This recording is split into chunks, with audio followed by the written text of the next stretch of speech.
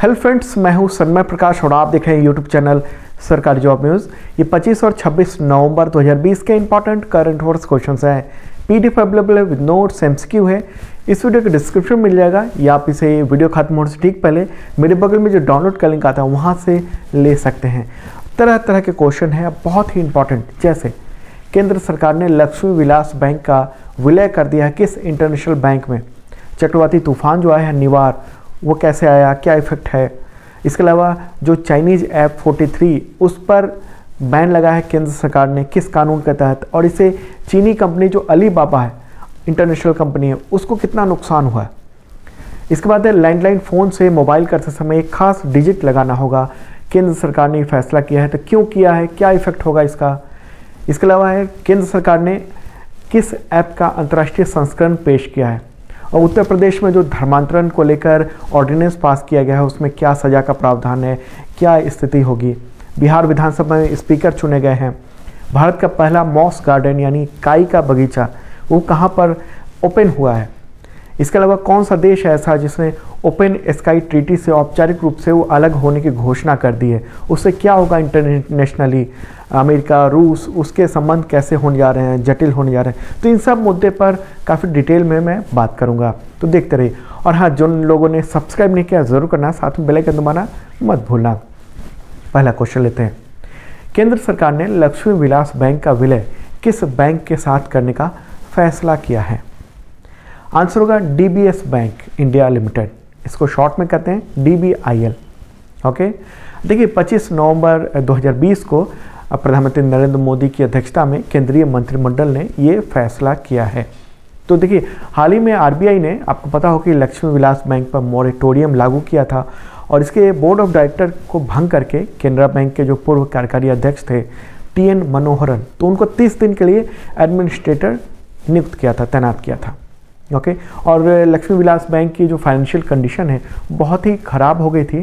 तो इसके बाद आरबीआई ने क्या किया कि लक्ष्मी विलास बैंक का विलय डीबीएस बैंक के साथ करने के लिए एक योजना तैयार की और उसको गवर्नमेंट के पास भेजा था। तो उसी प्रस्ताव को केंद्रीय मंत्रिमंडल ने, यानी सेंट्रल कैबिनेट ने मंजूर कर लिया है।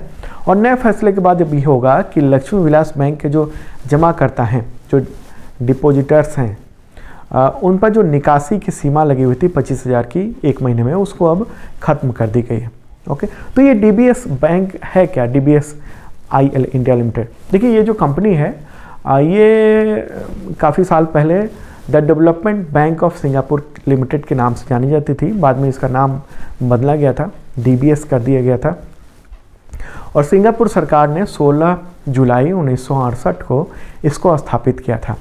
ये एक फाइनेंशियल कंपनी है बैंकिंग कंपनी है। इसको आरबीआई से लाइसेंस प्राप्त है यहाँ पर बैंक चलाने के लिए ओके और एशिया का एक प्रमुख फाइनेंशियल सर्विसेज़ ग्रुप है। और 18 देशों के बाज़ार में इसकी उपस्थिति है। मुख्यालय सिंगापुर में है और वहाँ के शेयर बाज़ार में भी ये लिस्टेड है। ये तो एक इंपॉर्टेंट बात है, क्योंकि लगातार सरकार जो है, अभी तक विलय हम लोग देख रहे थे कि जो भी सरकारी उपक्रम है बैंक उसका हो रहा था और अब ये अलग तरह का मर्जर देखने को मिला है बैंकों का। अगला क्वेश्चन लेते हैं। चक्रवाती तूफ़ान निवार, ये नाम आप ध्यान रखना क्योंकि अक्सर एग्जामिनेशन में चक्रवाती तूफ़ान का नाम के बारे में क्वेश्चन आता है। तो वो 25-26 नवंबर 2020 को किस केंद्र शासित प्रदेश के समुद्र तट से टकराया? वैसे तो कहेंगे भारत से टकराया है, लेकिन उसका जो केंद्र था वो कहाँ पर था? आंसर है पुदुचेरी। ओके, आप मेरे बगल में आईएमडी यानी इंटर मेट्रोलॉजिकल जो डिपार्टमेंट है, उसका एएनआई ने ट्वीट किया है उसके उसके बयान को।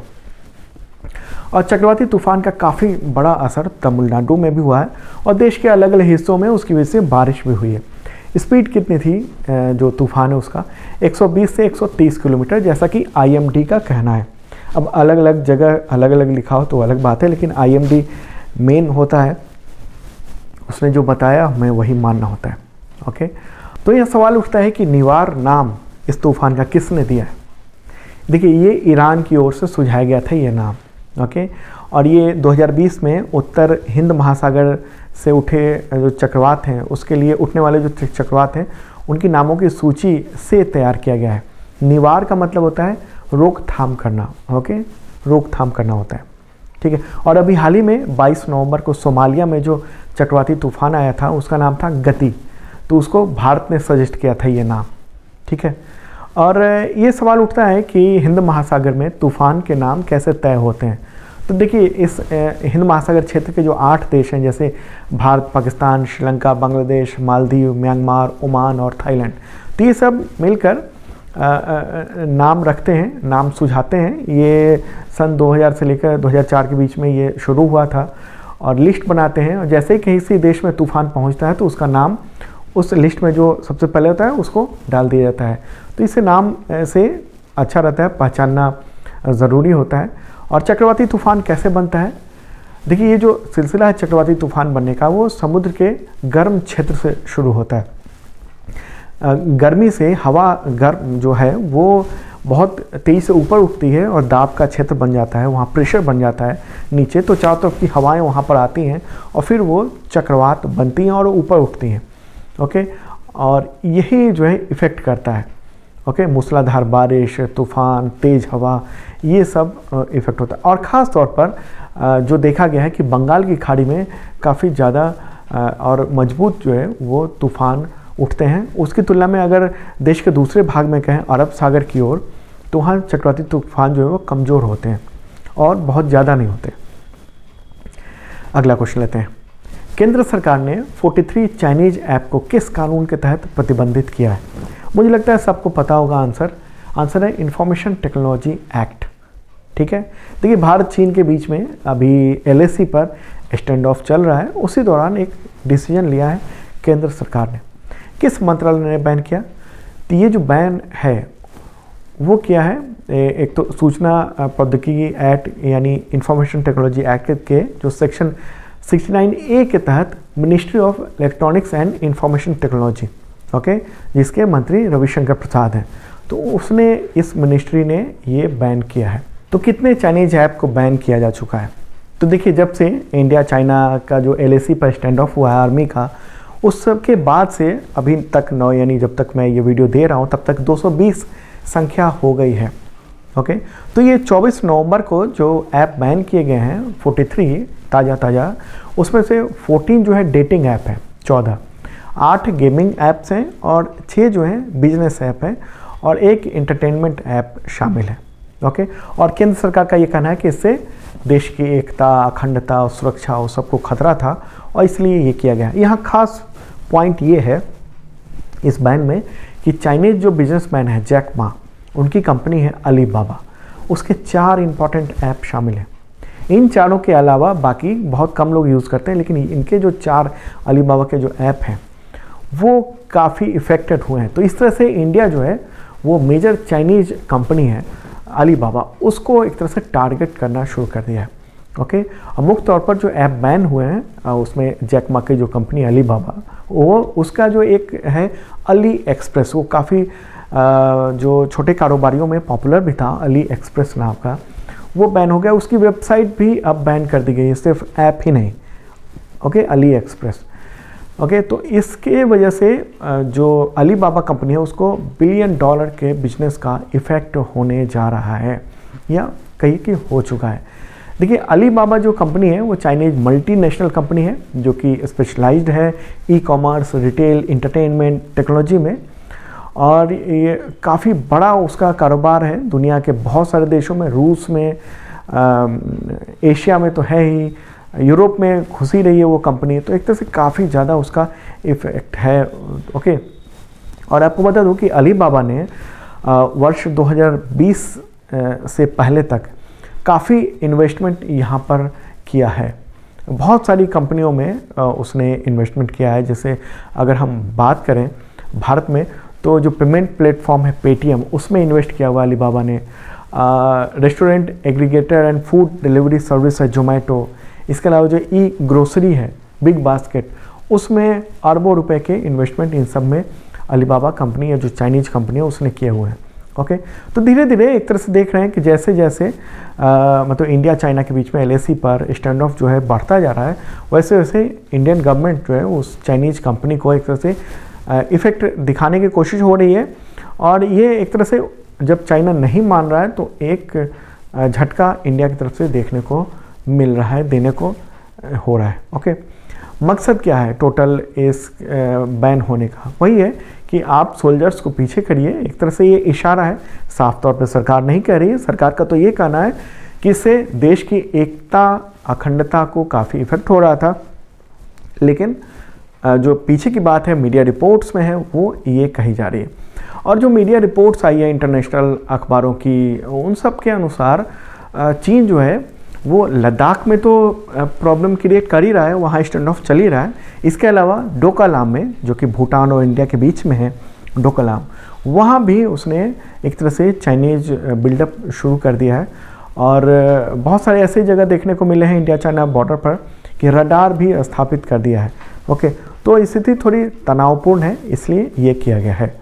अगला क्वेश्चन लेते हैं, उससे पहले बता दूँ कि 2020 का करंट फोर्स अवेलेबल है, जनवरी से अब तक का है और तमाम एग्जामिनेशन में काम आएगा, चाहे एसएससी हो यूपीएससी हो बैंक हो, या रेलवे का ही क्यों ना एग्जामिनेशन हो। तो ज़रूर देखना आप 2020 का total current force with notes है एमसीक्यू है।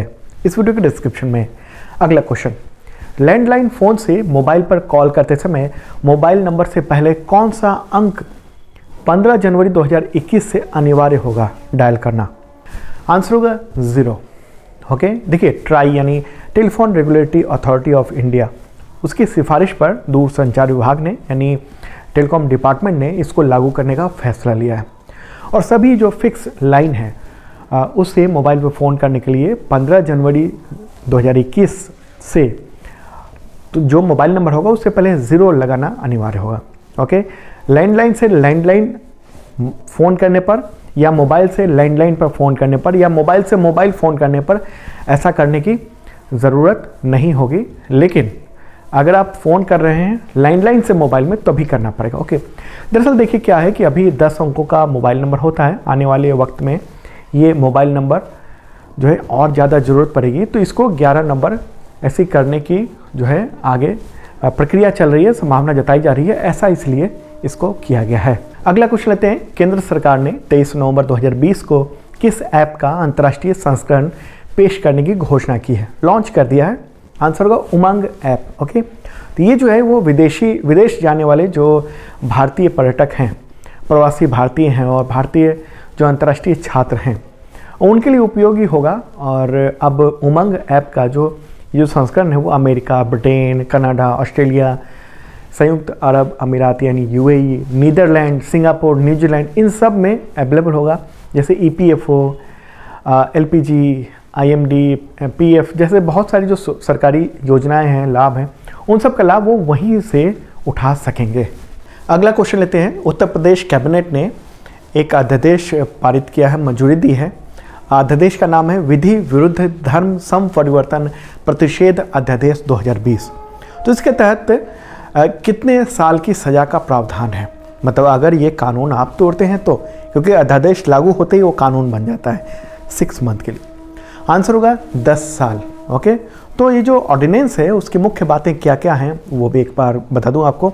तो आप मेरे बगल में देख रहे हैं, लालच, झूठ बोलकर या ज़ोर ज़बरदस्ती से किया गया धर्म परिवर्तन या शादी के लिए किया गया धर्म परिवर्तन, उसको अब अपराध माना जाएगा। नाबालिग अनुसूचित जाति, जनजाति की महिला के धर्म परिवर्तन पर कड़ी सजा होगी। सामूहिक धर्म परिवर्तन कराने वाले सामाजिक संगठनों के खिलाफ कार्रवाई की जाएगी। धर्म परिवर्तन के साथ अंतर धार्मिक शादी कराने वालों को साबित करना होगा कि वो इस कानून को उन्होंने नहीं तोड़ा है। अच्छा लड़की का धर्म बदल कर अगर शादी की जाती है तो उसको शादी मान्य नहीं किया जाएगा। मतलब माना ही नहीं जाएगा कि वो कोई शादी हुई है। ज़बरदस्ती प्रलोभन से किया गया जो धर्म परिवर्तन है, वो संज्ञेय और गैर जमानती अपराध होगा। कानून तोड़ने पर क्या सज़ा होगी? तो देखिए, इस कानून को तोड़ने पर कम से कम पंद्रह हज़ार रुपये का जुर्माना और एक साल से पाँच साल तक की जेल की सज़ा का प्रावधान है। गैर कानूनी सामूहिक धर्म परिवर्तन में कम से कम पचास हज़ार रुपये जुर्माना और तीन से लेकर दस साल तक सज़ा का प्रावधान रखा गया है। धर्म परिवर्तन के लिए तयशुदा फॉर्म भरकर दो महीने पहले डीएम को ये देना होगा। मतलब अगर धर्म परिवर्तन करना है किसी को तो दो महीने पहले बताना होगा। तो ये प्रावधान किए गए हैं। और देखिए इसको आ, सरकार के जो मंत्री लोग हैं और जो मीडिया है वो लव जिहाद शब्द बोल रहा है। लेकिन इस पूरे ऑर्डिनेंस में कहीं भी इस शब्द का यूज़ नहीं किया गया। आगे बढ़ते हैं। अगला क्वेश्चन है बिहार विधानसभा का स्पीकर किसे चुना गया है? आंसर होगा विजय कुमार सिन्हा। उनको चुन लिया गया है। देखिए, राज्य में आपको बता दूँ कि 51 ईयर के बाद, यानी 1969 के बाद स्पीकर पद के लिए चुनाव हुआ है, ये अलग बात है ओके देखिए, हमेशा ये होता था, सर्वसम्मति से चुन लिया जाता था, लेकिन अभी चुनाव की नौबत आई है, चुनाव हुआ है स्पीकर का ओके विधानसभा में। तिरपन साल के हैं, अभी जो चुने गए हैं स्पीकर और लखीसराय से लगातार तीसरी बार भाजपा के विधायक रहे, बने हैं। इस बार तीसरी बार विधायक बने और मंत्री भी पहले रह चुके हैं, विजय सिन्हा। आगे बढ़ते हैं और अगला क्वेश्चन लेते हैं। राज्यसभा सदस्य अहमद पटेल का निधन हो गया 25 नवंबर 2020 को। तो किस पार्टी से नेता थे? आंसर होगा कांग्रेस, ओके? गुजरात से राज्यसभा सदस्य थे और कांग्रेस के काफ़ी कद्दावर नेता थे। बहुत मज़बूत पिलर थे, पिलर माने जाते थे। और देखिए 2001 से सोनिया गांधी के राजनीतिक सलाहकार थे वो, वर्ष 2001 से। और इकहत्तर वर्ष की उम्र में उनका निधन हुआ है। एक अक्टूबर को उनको कोरोना पॉजिटिव पाया गया था। इसके बाद हॉस्पिटल में भर्ती हुए थे। बाद में शरीर के कई सारे अंगों ने काम करना बंद कर दिया। उसके बाद उनकी मौत हो गई। उनका जन्म हुआ था 21 अगस्त 1949 को गुजरात के भरूच में। ओके? और पटेल मतलब अहमद पटेल की गिनती जो है कांग्रेस के काफ़ी ताकतवर नेताओं में होती थी। लेकिन वो कभी सरकार के हिस्सा नहीं रहे मतलब कांग्रेस की जब भी सरकार रही तो कभी मंत्री वगैरह नहीं रहे। हाँ सांसद हमेशा रहे और गांधी परिवार से काफ़ी नज़दीक रहे। आपको बता दूँ कि मात्र 28 साल की उम्र में सौ सतहत्तर में वो सांसद बन गए थे इंदिरा गांधी के समय में, जब कांग्रेस पार्टी की नेता वो थी इंदिरा गांधी उस समय में। उसके बाद से अलग अलग समय में काफ़ी मज़बूत स्थिति में रहे कांग्रेस में। अगला क्वेश्चन लेते हैं। भारत का पहला मॉस गार्डन, यानी काई का बगीचा। काई आपके आसपास, घरों के आसपास जम जाता होगा हरा हरा वो तो वो किस ज़िले में स्थापित किया गया है इनमें से? आंसर होगा नैनीताल ओके देखिए, अभी हाल ही में 20 नवंबर को इसका शुभारंभ किया गया, उद्घाटन किया गया पार्क का, और जो जल पुरुष माने जाते हैं, डॉक्टर राजेंद्र सिंह तो उन्होंने इसका, इसकी शुरुआत की। ओके अप्रूवल 2019 में मिल गया था, लेकिन अब जो है फाइनल हो गया है। बहुत तरह की प्रजातियाँ हैं वहाँ, काई की, मॉस की। ओके तो ये मॉस गार्डन है, एक इंपॉर्टेंट बात। ओके चलिए, आगे बढ़ते हैं और अगला क्वेश्चन लेते हैं। अंतर्राष्ट्रीय महिला हिंसा उन्मूलन दिवस, ये कब मनाया जाता है? आंसर होगा 25 नवंबर। ओके ये दिवस जो है, पूरे विश्व में महिलाओं के खिलाफ जो हिंसा हो रही है, उसको रोकने के लिए मनाया जाता है। और संयुक्त राष्ट्र संघ के द्वारा ये दिवस घोषित है। ठीक है? आगे बढ़ते हैं और अगला क्वेश्चन है, पुलिस झंडा दिवस कब मनाया जाता है? आंसर होगा तेईस नवंबर। ओके? खासतौर पर उत्तर प्रदेश में मनाया जाता है क्योंकि उन्नीस सौ बावन में 1952 को भारत के जो प्रथम प्रधानमंत्री थे जवाहरलाल नेहरू तो उन्होंने उत्तर प्रदेश पुलिस को पुलिस ध्वज प्रदान किया था। अगला क्वेश्चन लेते हैं, किस देश ने मुक्त आकाश निगरानी संधि, यानी ओपन स्काई ट्रीटी से औपचारिक रूप से खुद को हटा लिया है।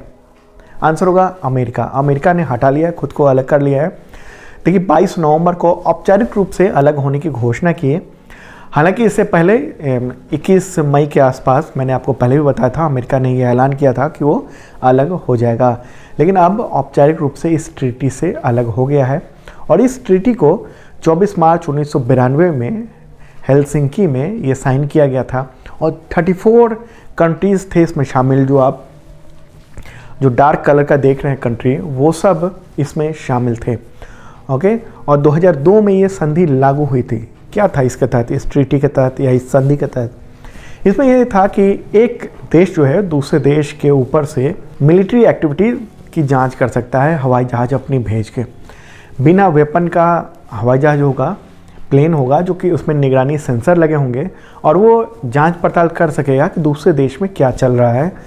ये ऐसा आपसी अंडरस्टैंडिंग दूर करने के लिए किया गया था। जैसे मान लीजिए कि अमेरिका को ये आशंका हुई कि रूस अपनी मिलिट्री को किसी देश के लिए मोबिलाइज कर रहा है और सही से सूचना नहीं फैला रहा है। तो ऐसे में माहौल ख़राब हो सकता है अटैक की स्थिति हो सकती है, दूसरा देश अपनी तैयारी कर सकता है। तो इस स्थिति से बचने के लिए ये ट्रीटी हुई थी कि कोई भी देश एक दूसरे देश के ऊपर जा सकता है सेंसर लेके ओके तो अब अमेरिका इससे हट गया है। अमेरिका का कहना था कि रूस इसको नहीं मानता है, बहुत सारी एक्टिविटी वो कर रहा है, हम निगरानी नहीं कर पा रहे हैं। एक और ये भी बात है कि आजकल तो सेटेलाइट से सारी निगरानी हो जाती है तो हवाई जहाज़ ऊपर भेजने की ज़रूरत क्या है? आगे बढ़ते हैं। अगला क्वेश्चन है, आशीष रॉय का निधन हो गया 24 नवंबर 2020 को। तो किस लिए जाने जाते थे? क्या काम करते थे? आंसर है, टीवी अभिनेता थे 55 ईयर के थे। किडनी फेल होने की वजह से मुंबई में उनका निधन हो गया। ओके और ससुराल सिमर का एक सीरियल थी और बनेगी अपनी बात ब्योमकेश बख्शी यस बॉस, बहुत सारी कुछ फ़िल्में और कुछ सीरियल्स में उन्होंने काम किया हुआ है। अगला क्वेश्चन लेते हैं, राष्ट्रीय विधि दिवस, यानी नेशनल लॉ डे कब मनाया जाता है? इसका आंसर होगा 26 नवंबर। ओके क्यों? क्योंकि 26 नवंबर उन्नीस सौ उनचास को संविधान सभा ने भारत के संविधान को स्वीकार किया था, जो कि बाद में ये 26 जनवरी 1950 को संविधान लागू हुआ। तो दोस्तों, ये था इंपॉर्टेंट करंट अफेयर्स कैसा लगा ज़रूर बताना। पीडीएफ अवेलेबल हो गया मेरे बगल में तो डाउनलोड पर क्लिक कीजिए और डाउनलोड कर लीजिए, या आप इसे इस वीडियो के डिस्क्रिप्शन से भी डाउनलोड कर सकते हैं। वहाँ और भी पीडीएफ अवेलेबल है 2020 के अब तक का भी करंट रूट्स है, वो भी ले सकते हैं। और जिन लोगों ने सब्सक्राइब नहीं किया, ज़रूर करना, साथ में बेल आइकन दबाना, मत भूलना।